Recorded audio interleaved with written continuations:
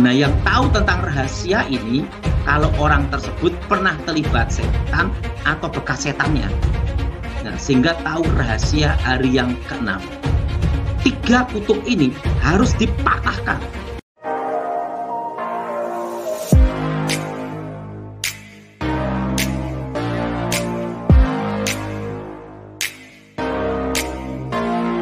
Shalom, sahabat John Pregado. Senang sekali bisa bertemu kembali dengan sahabat di channel ini.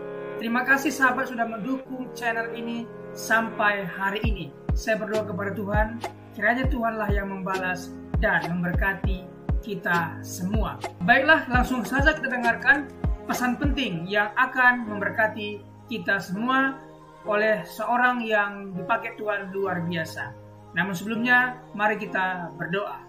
Tuhan terima kasih buat kesempatan kali ini kami akan mendengarkan sesuatu pesan yang sangat penting yang tentu pasti akan memberkati kami. Berkatilah hambamu ini, anakmu ini, sehingga boleh menyampaikan isi hatimu dengan baik dan berkati pendengar setia John Pregador. Terima kasih Tuhan, kami siap mendengarkan pesan penting ini. Demi nama Yesus. Amin.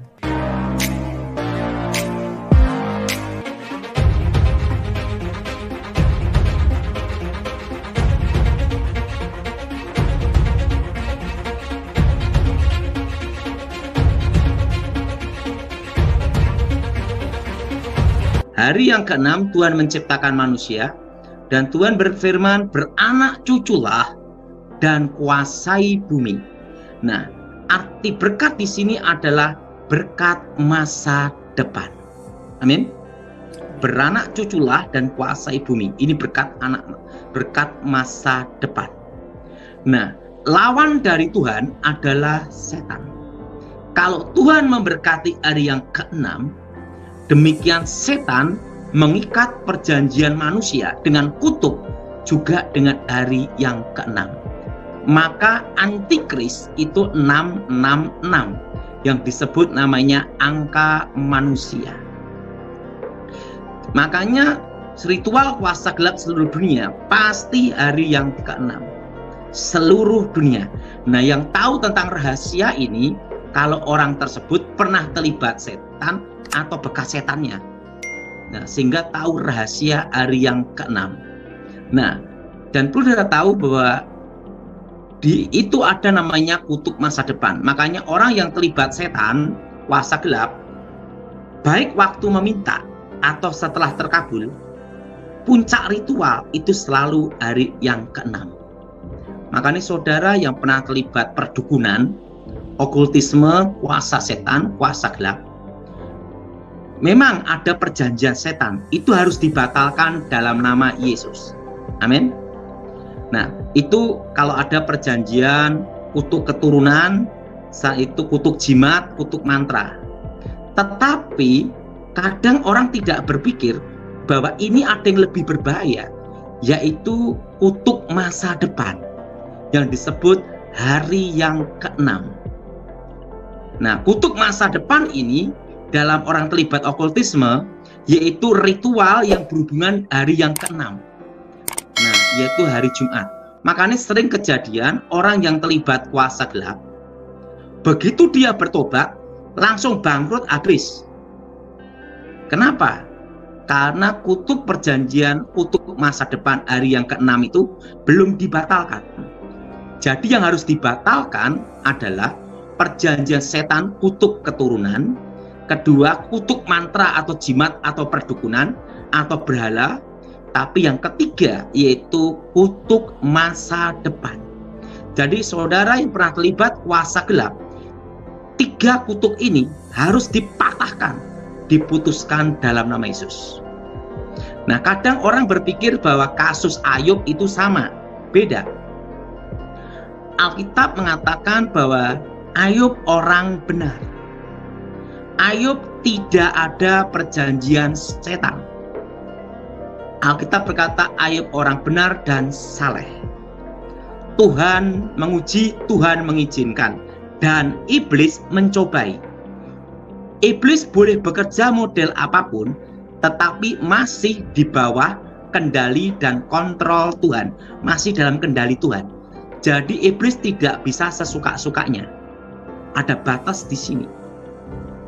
Nah, dan Ayub ada namanya pemulihan. Setelah diuji dan diizinkan Tuhan, Ayub habis-habisan. Tetapi ada namanya pemulihan. Jadi saudara harus membedakan antara kasus Ayub dengan kasus orang yang terlibat kuasa gelap itu beda. Nah, itu yang terlibat kuasa gelap itu harus diputuskan namanya kutuk masa depan. Dan itu hanya bisa dilakukan hanya di dalam nama Tuhan Yesus. Amin. Yang berkata amin angkat tangan sudah supaya saya tahu. Oke. Jadi ingat, kalau saudara yang terlibat kuasa-kuasa gelap ada tiga yang harus dipatahkan.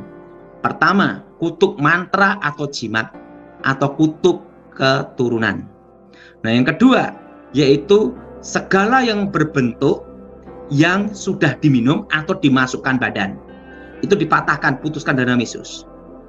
Yang ketiga, kutuk masa depan. Nah, dalam dua pelepasan ini, tiga ini harus putus. Terima kasih sahabat sudah mendengarkan ceramah diskusi penjelasan dari hambanya Evangelist Daud Tony tentang kutuk masa depan. Setiap manusia yang kakek neneknya atau orang tuanya pernah kontaminasi dengan iblis atau perdukunan, maka dia akan terkena tiga kutuk, yaitu kutuk keturunan, kutuk orang tua, kutuk dirinya sendiri, dan kutuk hari depan atau kutuk hari yang keenam. Jadi keturunannya ini apa pun yang akan dikerjakan pasti gagal. Maka dari itu tiga kutuk yang disebutkan oleh Evangelist Daud Tony tadi harus kita selesaikan dan putuskan dalam nama Yesus. Berikut ini kita akan melihat apa itu kutuk masa depan dalam Alkitab? Kita akan dalami, kita akan jelajahi apa saja kutuk masa depan dan bagaimana cara mengatasinya menurut ilmu pengetahuan dan Alkitab. Mari kita mulai. Kutuk masa depan adalah suatu konsep yang penting dalam Alkitab yang menggambarkan konsekuensi yang akan terjadi akibat perbuatan manusia yang bertentangan dengan kehendak Tuhan. Sekali lagi, Kutuk masa depan adalah suatu konsep yang penting dalam Alkitab yang menggambarkan konsekuensi yang akan terjadi akibat perbuatan manusia yang bertentangan dengan kehendak Tuhan. Makna dan pengertian kutuk masa depan. Kutuk masa depan adalah hukuman dan kecelakaan yang akan diterima seseorang atau kelompok sebagai akibat dari melanggar perintah Allah bentuk-bentuk kutuk masa depan. Pertama, pandemik penyakit. Contohnya, wabah penyakit seperti sampar yang terjadi dijadikan sebagai hukuman Allah terhadap orang-orang yang berpaling darinya. Kita melihat ketika ada suatu tempat, suatu daerah yang menyangkal atau menolak Tuhan, maka mungkin saja di daerah itu akan mengalami pandemik penyakit atau bencana alam. Dua, bencana alam. Contohnya banjir besar yang menghancurkan bumi sebagai akibat dari perbuatan jahat manusia. Jadi bencana alam ini bisa beberapa aspek, bisa karena ulah manusia, bisa karena alam, atau bisa karena Tuhan yang memberikan teguran. Jadi kita harus tahu bahwa bencana alam juga bisa dipakai Tuhan untuk memberikan ujian, memberikan peringatan karena ulah manusia yang jahat ini. Tiga, perbudakan. Contohnya, ketika bangsa Israel dijajah dan diperbudak oleh bangsa Mesir selama beberapa generasi. Jadi kutuk yang dilakukan oleh nenek moyang itu terkena kepada generasinya. Jadi generasi ketiga dan keempat. Pesan-pesan dalam kutuk masa depan. Mari kita dalami. Kesadaran akan konsekuensi. Kita tahu bahwa dan kita sadar akan konsekuensi atas apa yang kita lakukan. Jadi jangan melakukan yang bertentangan dengan firman Tuhan atau kehendak Tuhan karena ini berdampak di masa depan. Kutuk masa depan mengajarkan pentingnya mengenali dan mempertimbangkan akibat dari perbuatan kita dalam memutuskan tindakan. Berbalik kepada Tuhan. Kutuk masa depan memberi memberikan kesempatan untuk bertobat dan kembali kepada Allah, mencari anugerah dan berkatnya. Jadi kita harus kembali kepada Tuhan, bertobat dan melakukan kehendaknya. Maka pembaruan, pembalikan keadaan akan terjadi dalam kehidupan kita. Pentingnya menaati perintah Allah. Kutu masa depan mengingatkan kita akan pentingnya hidup dalam ketaatan terhadap perintah dan kehendak Allah. Mari kita menaati perintah Allah. Yang keempat, keadilan Allah.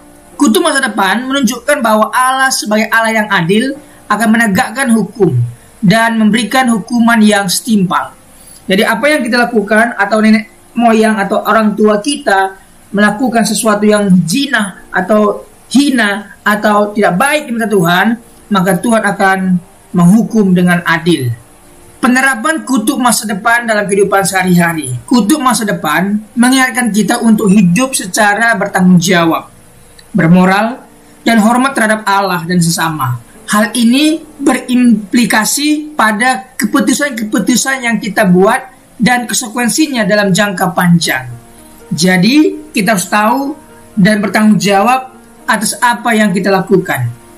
Kelak nanti dampaknya adalah keturunan kita atau generasi kita selanjutnya. Jadi Tuhan itu adil.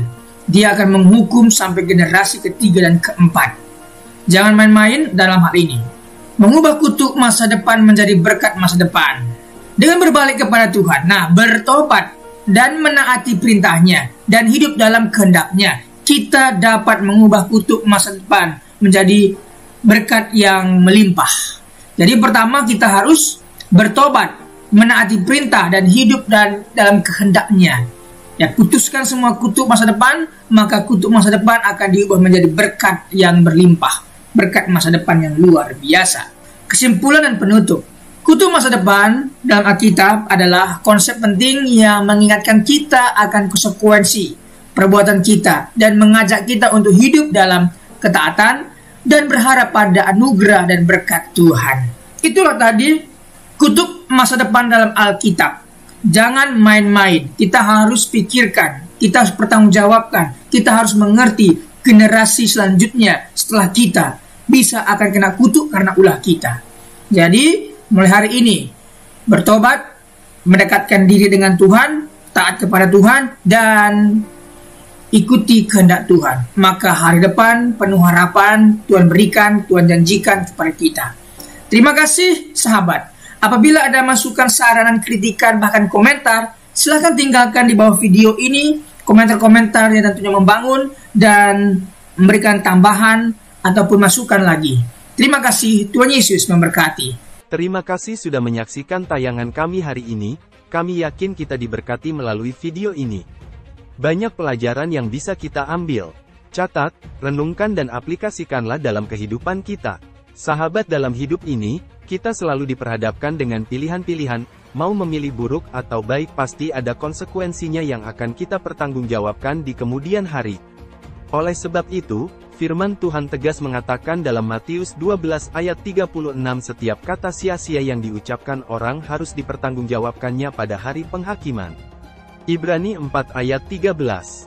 Dan tidak ada suatu makhluk pun yang tersembunyi di hadapannya, sebab segala sesuatu telanjang dan terbuka di depan mata dia, yang kepadanya kita harus memberikan pertanggungan jawab.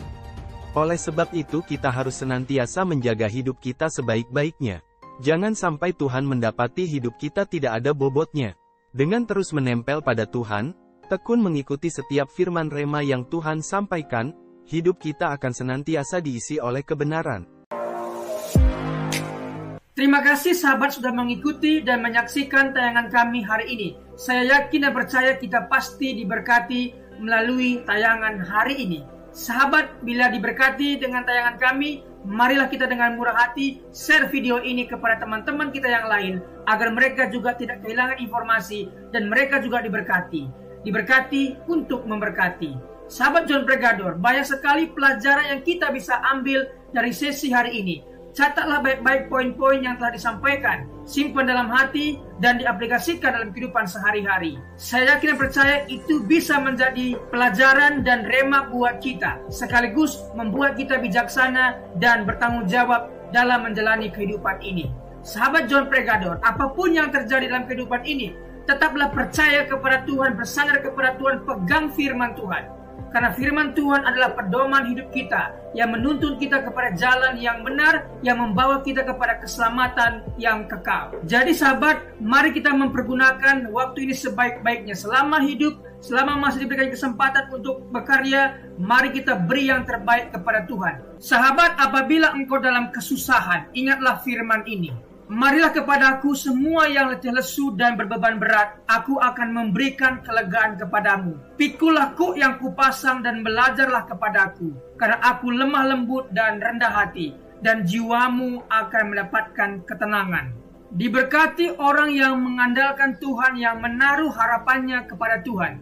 Ia akan seperti pohon yang ditanam di tepi air yang merambat akar-akarnya ke tepi batang air dan yang tidak mengalami Datangnya panas terik yang daunnya tetap hijau, yang tidak khawatir dalam tahun kering, dan yang tidak berhenti menghasilkan buah.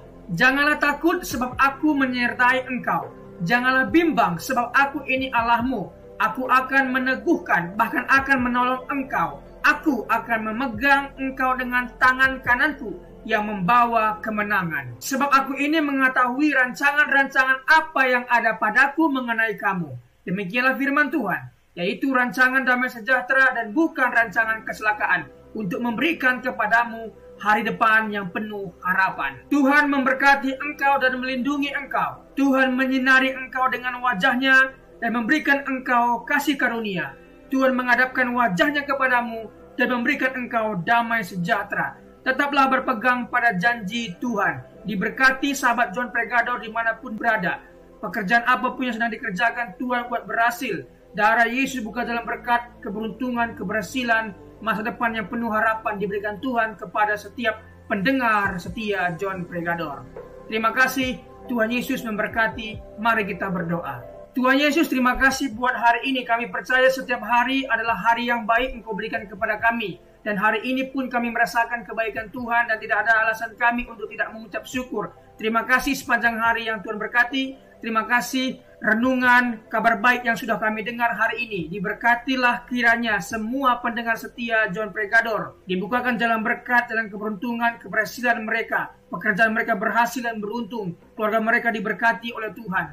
Terima kasih Tuhan Yesus. Pertemukan kami di hari-hari berikutnya dengan keadaan sehat dan baik diberkati oleh Tuhan Yesus. Terima kasih buat pembicara narasumber hari ini diberkati pekerjaan usaha bisnis apa pun yang mereka kerjakan Tuhan berhasil dan beruntung. Terima kasih Tuhan Yesus. Demi nama Tuhan Yesus kami berdoa dan mengucap syukur. Haleluya. Amin.